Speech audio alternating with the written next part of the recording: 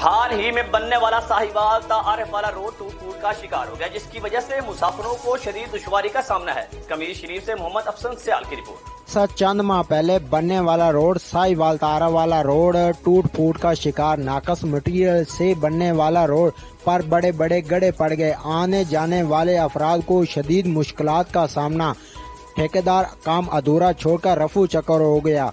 Emergency मरीज़ अस्पताल का मुँह देखने से पहले ही दम तोड़ जाने लगे। लोगों का कहना मोहब्बत है बहुत ज़्यादा है, अगर रोड ऐसा हो तो मोहब्बत खत्म हो जाएगा। हमारे पास दो सौ पचास रूपए लिया और रोड बहुत खराब है। बरए मेहरबानी हम लोग को चाहिए कि रोड जल्द अज जल्द सही करे।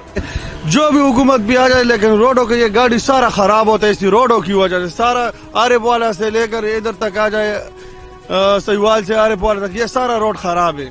जो गाड़ी आता है, वो ढीला होता, हो जाता है। सारे काबले जो है ना, वो गिर जाते हैं।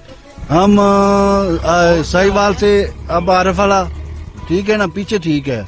मोटरवे से नीचे उतरे हैं ना जब तो वहाँ से जलील होना। ये जो कंस्ट्रक्शन के जो आदमी है ना, जो काम करने वाले हैं, वो सब डिफॉल्टर है। इन सबको सीधा होना चाहिए। गाड़ियाँ के टायर खत्म होने लगे, गाड़ियाँ खटारा बनने लगी, मिनटों का सफ़र घंटों में तय होने लगा। अहलैना इलाका ने तब्दीली सरकार से मुतालबा किया है कि रोड को मुकम्मल किया जाए ताकि लोग दूरी अजियत से बच सकें।